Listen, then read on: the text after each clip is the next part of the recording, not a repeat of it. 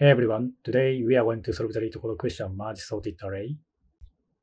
Okay, so let me explain with this example. nums1 is 1, 2, 3, and nums2 is 2, 5, 6. So first of all, let's think about uh, uh, how we can iterate through nums1. I mean, we have two choices from the beginning or from the end. And uh, my strategy is iterate through from the end. Why?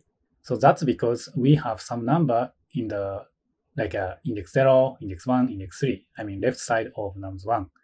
So in that case, so 1 is the smallest, and 2 is the second smallest, and the next number should be um, 2 from nums2, right? So this 2 goes to index 2 at nums1. But uh, we have 3, right? So that's why uh, we keep this 3 with like another variable, and then update index 2 with 2. So a little bit tough, right? Uh, on the other hand, if we iterate through from the end, so actually uh, from index 3, 4, 5, and so we have kind of a, like available um, position. So we know that length of nums1 is m plus n. So we have kind of a available position. We don't have to care about uh, uh, like uh, this this zero. So that's why uh, if we put a bigger number, I mean biggest number from the end, so we don't have to care about uh, like uh, keeping this number, keeping that number, something like that. And uh, nums1 is uh, sorted in non-decreasing order, and nums2 also. So that's why the last number is the biggest number in each array. So that's why uh, let's compare the number from the end. So 3 versus 6. And uh, so let's say um, m index and uh, n index. And uh, also we create a, let's say, right index. So right index is uh, like a position where we sh should put next biggest number. So let's compare 3 with 6. So 6 is greater than 3, right? So that's why this 6 goes to the last index here. And then n index move next. And also um, this right index move next. And the next, we compare 3 with 5. And the 5 is greater than 3, right? So that's why this 5 goes to right position here. And then move next and then right position also move next. And the next 3 versus 2. So 3 is a bigger than 2, right? So that's why this 3 goes to right position.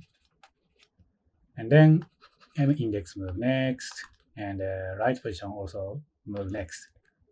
And then compare 2 versus 2, so they are same, right? So we put one of them uh, into uh, index 2. So I put this 2 at index 2. Oops. And then n index move next, but uh, already minus 1. So that's why uh, we stop iteration. And uh, we don't have to return anything. So we just create a 1, 2, 2, 3, 5, 6. And uh, one more important thing is that how many times do we have to iterate through um, nums1 and nums2? So my answer is until n index reach minus 1. Why? So let's see this example. So nums1 has 7, 8, 9. So all numbers are greater than the last index uh, in nums2.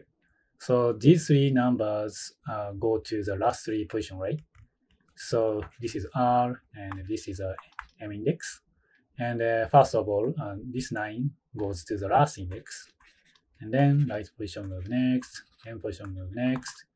And then 8 goes to right position. And then right position move next, M position move next, and this 7 goes to right position. 7. And then right position is now index 2. So this question is like we have to put all numbers into nums1. So uh, we successfully move these three to the last three position but we still have like a two, five, six, right? So that's why uh, if m index is minus one, uh, so we try to move um, rest of nums2 number to uh, nums1. So in this case, we move 6 to index 2. And the n index move next, and uh, we move 5 because uh, m1 m index is already minus 1. So 5 move to index 1, 5, and then right position is now index 0, and the end position n index is index 0. So this 2 goes to index 0. And then now n1 reach minus 1. So we stop iteration. So we create a 2, 5, 6, 7, 8, 9. So looks good. And uh, let's see another example. So now, so all numbers in nums2 is greater than the last number in nums1. So these three numbers goes to the last three position. So first of all, this stem goes to the last index. And then and index move next, and the right is now here. And then 9 goes to the right position. 9 and the nums, nums index now index 0, and the right position is now index 3. And the 8 goes to the right position. And then nums uh, n index is now minus 1, and the right position is index 2. So now uh, nums index reach minus 1. And so we stop iteration. And uh, we don't have to care about uh, these three numbers. That's because we know that uh, so these numbers are already sorted in non-decreasing order. So that's why uh, we don't have to care about the rest of nums1. Easy, right? That is a basic idea to solve this question. So let's jump into the code. Okay, so let's write the code. First of all, create a m index equal n m minus 1 and n index equal n minus 1 and the right position should be m plus n minus 1 and uh, let's compare from the end.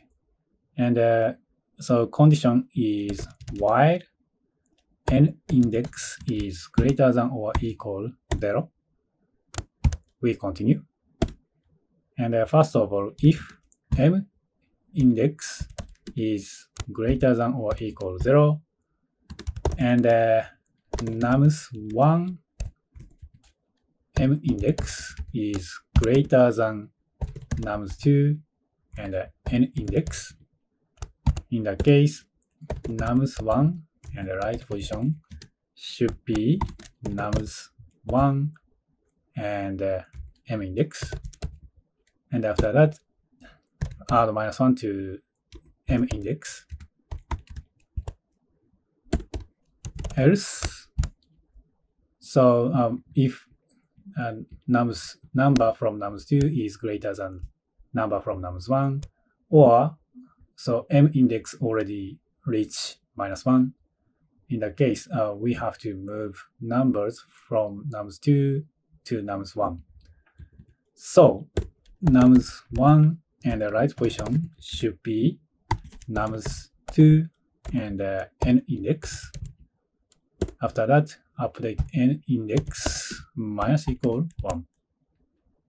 And then every time right position move next, so right minus equal 1. Yeah, so let me submit it. Yeah, looks good. And the time complexity of this solution should be m multiply n m is a number of elements in the nums1 and n is a number of elements in nums2. And the space complexity is, I think, O1. We use just simple variable. Okay, let's try the coding exercise. So before I explain uh, the solution, do you have any idea? So my strategy is, so let me put here. So this is a nums1, and uh, these numbers are coming from nums2. So first of all, um, we put all numbers from nums2 into nums1. I mean, the last three position in this case.